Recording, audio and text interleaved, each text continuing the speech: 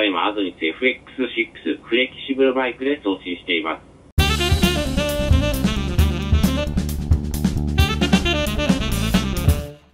はい。皆さんこんにちは。長岡 HR420 桃助です。先日開封レビューをしたこの DR-DPM60。えーまだね、いろいろこうテストしてみたいところがたくさんあるんだけども、えー、っと、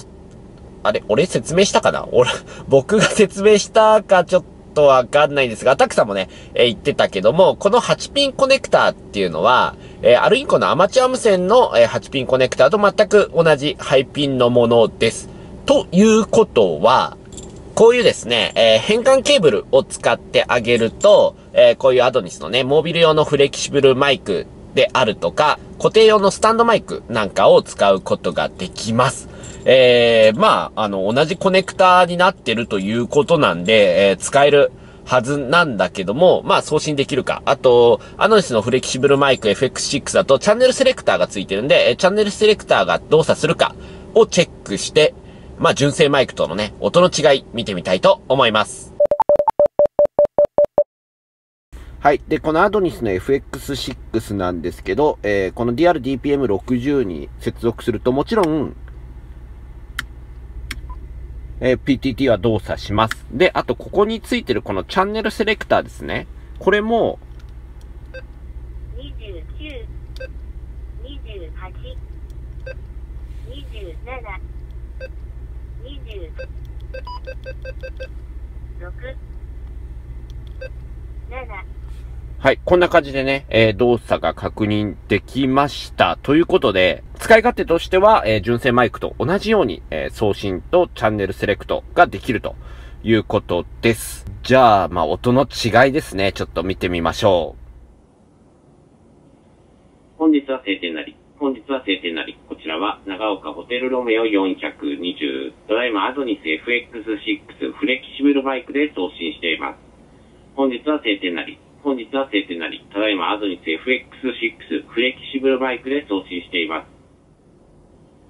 本日は晴天なり。本日は晴天なり。こちらは長岡ホテルロメオ420。ただいま DR-DPM60 純正マイクで送信をしています。本日は晴天なり。本日は晴天なり。ただいま DR-DPM60 純正マイクで送信をしています。ただいまアドニス FX6 フレキシブルマイクで送信しています。なり。ただいま DR-DPM60 純正マイクで送信をしています。はい。ということで、この DR-DPM60、えーこのフレキシブルマイクでね、えーテストしてみました。音の違いは、ちょっと今ね、自分で聞いてみたんだけど、うーん、どっちがいいっていうことはないかな。えっ、と、フレキシブルマイクはちょっとやっぱ口元から離れてる関係上、結構ね、あの、周りの音も含めて拾うのと、というかマイクのね、感度の方、結構上げ目に調整してあるんで、ちょっと周りの音が入ってるかなという感じでした。それに対してこのアルインコのね、純正のダイナミックマイク、EMS61、えーこっちの方はですね、あの、どちらかというと、まず味付けが、その周りの雑音を拾わないような感じになってます。まあ、というのは、えー、うるさい現場で使うときですね。例えばその、作業用の車両の中であるとか、えー、まあ、漁船、ね、船の中であるとか、そういうとこで使う場合は、周りの音ね、あんまり拾っちゃうとあれなんで、どちらかというと、口元にマイクを近づけて、まあ、使うような、えーセッティングになっています。まあ、その違いはあるかなと思うんだけど、まあ、どっちが音質がいいか悪いかっていうのはなかったですね。えーメーカーさんに聞いたとこによると、基本的にはこのダイナミックマイクを使うという前提の、えーセッティングになっているそうなんで、コンデンサーマイクをつけるとね、ちょっとキンキンした音になるかもっていうふうに言われてたんですが、